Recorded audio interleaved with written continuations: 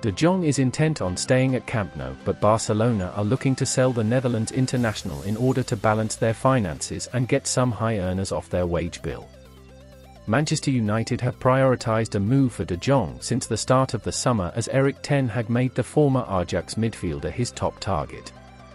But De Jong has major reservations about moving to United, primarily due to their lack of Champions League football. De Jong's agent has also approached Chelsea in recent weeks and it's understood that the 25-year-old would be more open to joining Thomas Tuchel's side.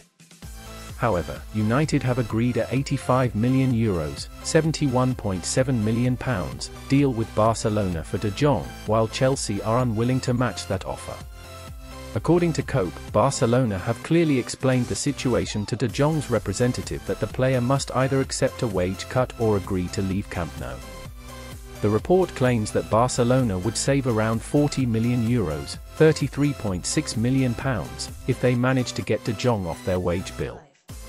Barcelona must also settle their wage dispute with De Jong as they owe him around 17 million euros, 14 million pounds, after he agreed to defer part of his salary to help the club's financial situation.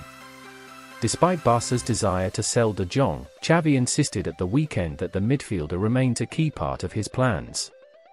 I have chatted with him, he knows how much I value him, I value him very much as a footballer, said Xavi.